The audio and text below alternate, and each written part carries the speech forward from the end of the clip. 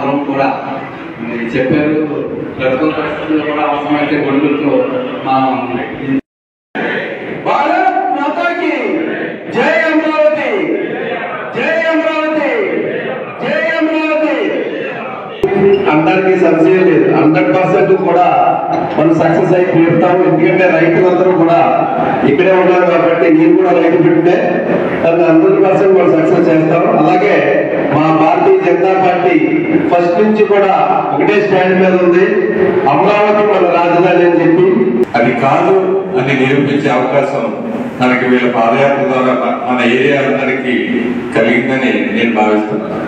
తెలుగుదేశం ఉంది కాబట్టి వాళ్ళ మీద ఎక్కువ బాధ్యత ఉంటుంది కాబట్టి భారీ సంఖ్యలో జన సమీకరణ జరగకపోతే ఇది సరైన సంకేతం.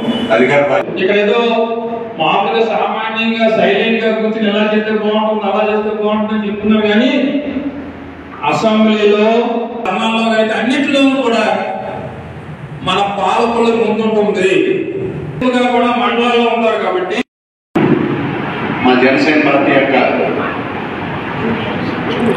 ముఖ్యమైనటువంటి పాలసీ ఏంటంటే అమరావతి విషయంలో ఫస్ట్ నుంచి కూడా మేము అమరావతి రాజధానిగా ఉండాలనేది మా అధ్యక్షుడు పవన్ కళ్యాణ్ గారు వివిధ సందర్భాల్లో కూడా పబ్లిక్ అనేది తెలియజేయడం జరిగింది. మా స్టాండర్డ్లు కూడా మారదు. మా అధ్యక్షుల వారి యొక్క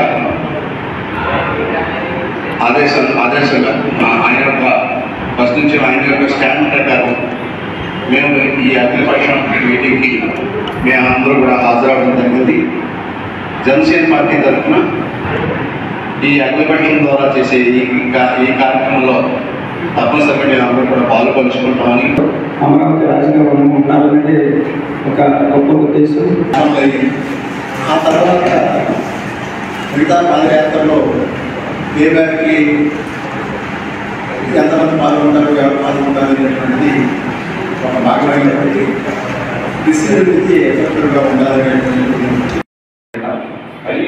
రైతు అండగా ఉన్నారు చాలా సంతోషం ఉంది మన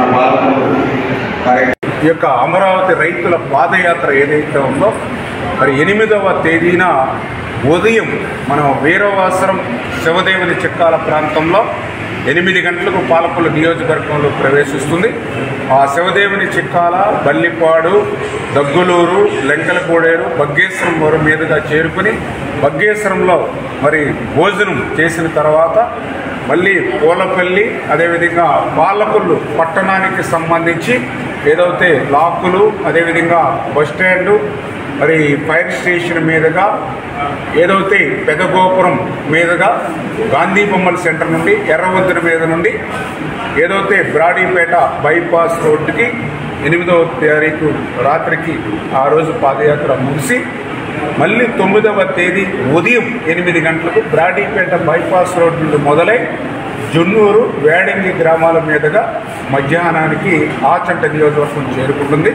ఏదైతే ఇట్లా జేఏసీ అమరావతి జేఏసీ ఇచ్చినటువంటి రూట్ షెడ్యూల్లో ఖచ్చితంగా ఈరోజు పాలకులలో ఇప్పుడే అఖిలపక్ష సమావేశం కూడా ఏర్పాటు చేసుకున్నాం. ఎందుకంటే అమరావతి రైతుల పాత్ర ఉంది కాబట్టి రైతు కంట కన్నీరు రాష్ట్రానికి మంచిది కాదు కాబట్టి ఇవాళ పాలకులలో మరి అఖిలపక్ష సమావేశం ఏర్పాటు చేసుకున్నాం. అందరూ కూడా ఏదైతే మరి ఇటు Bharatiya Janata party Janasena CPI CPM Congress ఇలా ఇతర ప్రజా సంఘాలు కూడా పెద్ద ఎత్తున అమరావతిలో పాల్గొంటాం. పాదయాత్రను సక్సెస్ చేద్దాం గోదావరి రైతుల సత్తా పాలకొల్లు రైతుల సత్తా జగన్మోహన్ రెడ్డికి తెలిసి వచ్చేటువంటి విధంగా అన్ని పక్షాలు కూడా పాల్గొంటామని చెప్పి ఈరోజు అఖిలపక్ష సమావేశంలో కూడా సమిష్టిగా అందరూ కూడా ఒక నిర్ణయం తీసుకోవడం జరిగింది.